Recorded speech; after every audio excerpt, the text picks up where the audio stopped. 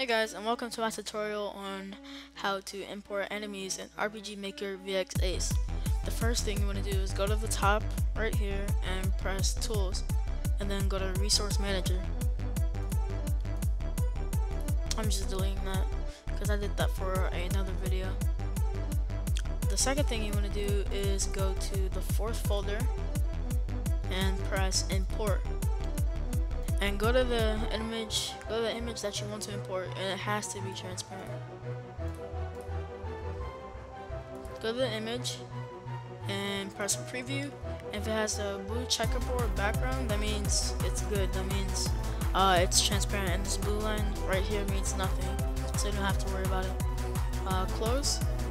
And then now you go to the top again. Go to the top go to tools then go to database then you go to enemies and you want to look for your open slot. If there isn't any more open slots you go to change maximum and just change it so you have an open slot. Go to graphic on the open slot and go to the image that you just imported. The hue changes the color of the image but it doesn't work on this image for some reason. You can change the name here, change its attack, defense, magic attack, magic defense, and all its stats. The drop items is if it like wants to drop a potion or a weapon.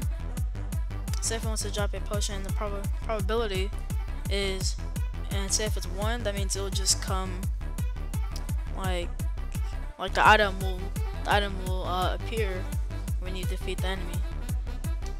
Uh, if the probability is on five, it's pretty rare.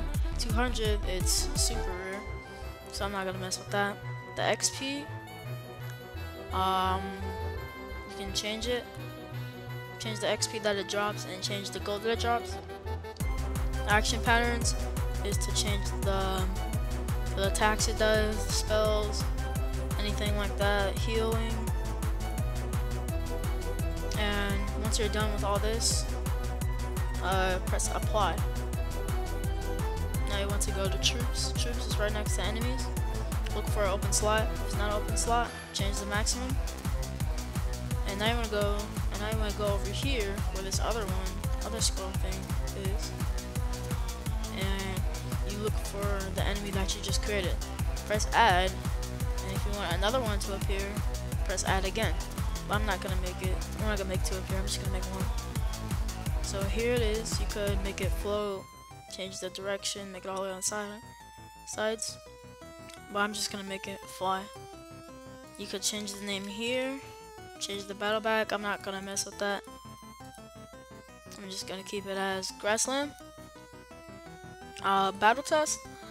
You can test your enemy, see if it's too OP or it's too weak. OP means overpowered, if you guys didn't know. Um, that's it. Press OK. We'll show the enemy.